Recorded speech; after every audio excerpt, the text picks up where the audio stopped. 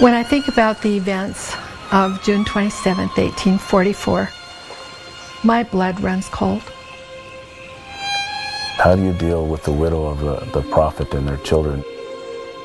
They would be like the children of Abraham. Joseph never had his children sealed to him. In the fourth and fifth generation, the prophet's descendants will begin to come into the church. And she said, He is your great great grandfather, but don't you ever tell anybody. We are in an age where we have an abundance of access to resources that we've never had before. God will move in His own ways to bring all these puzzle pieces together.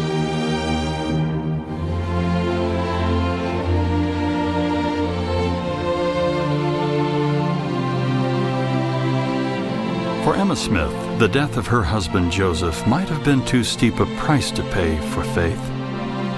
As Joseph rode off to Carthage, according to a pioneer journal, three different times he said, Emma, can you train my sons to walk in their father's footsteps?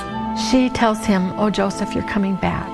These were hard words to uh, Emma, I believe, because it really had an ominous tone. He said, Emma, can you train my sons?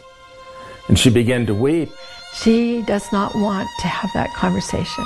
She kept pleading to Joseph, You're coming back, you're coming back.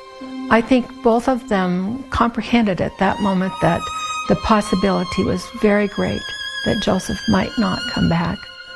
He said, Emma, can you train my sons to walk in their father's footsteps?